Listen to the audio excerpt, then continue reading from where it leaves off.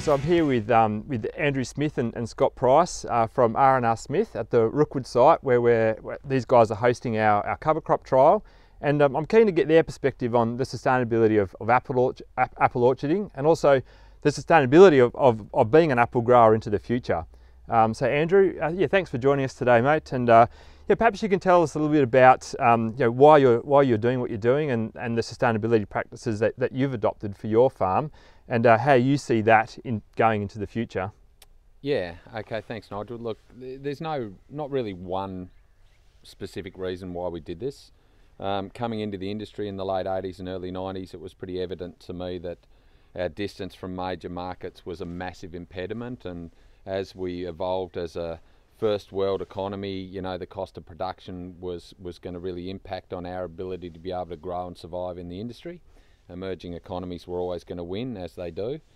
And so uh, I, uh, after a trip uh, uh, to Europe and then, and then a few years on the orchard, really started to think about um, creating a point of difference and being able to um, do more than just be a commodity apple producer. So for me, it was about uh, value adding uh, it was about creating a point of difference and it was about being able to create a brand where people would potentially come and buy our product uh, under a, a, an audited food safety process. So sure. for, for us, organic is not using synthetic products.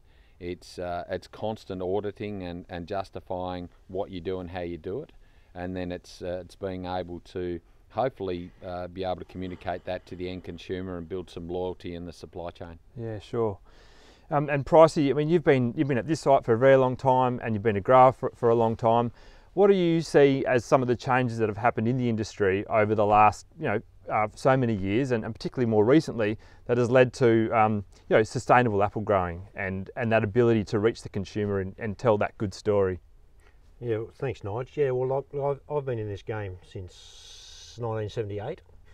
So I've seen the era when we had some quite um, heavy chemical usage, mm. um, and we've weaned off that in the conventional game quite considerably over those years.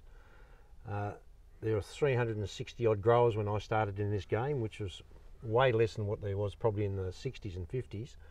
Um, I think we're down to 45 apple growers in Tasmania now, and I think right. there's five apple growers that only grow apples. So there's been a huge change in the industry. And look, there's more changes to come. But that's part of the amazing ability of the apple industry to evolve and mm. change. Mm. And if you don't change, you won't last. Mm. So a part of the change going forward, and it's what the world's demanding, is a cleaner product, mm.